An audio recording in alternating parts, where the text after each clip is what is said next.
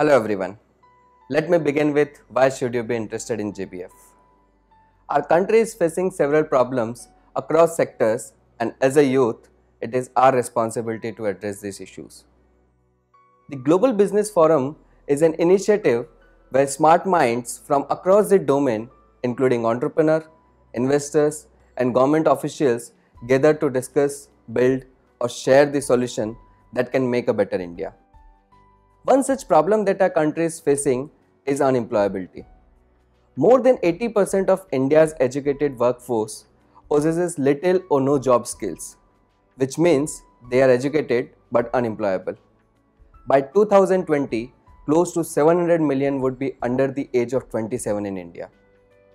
We at Plancess are working towards one mission to address the problem of unemployability by making quality training and education available to every Indian.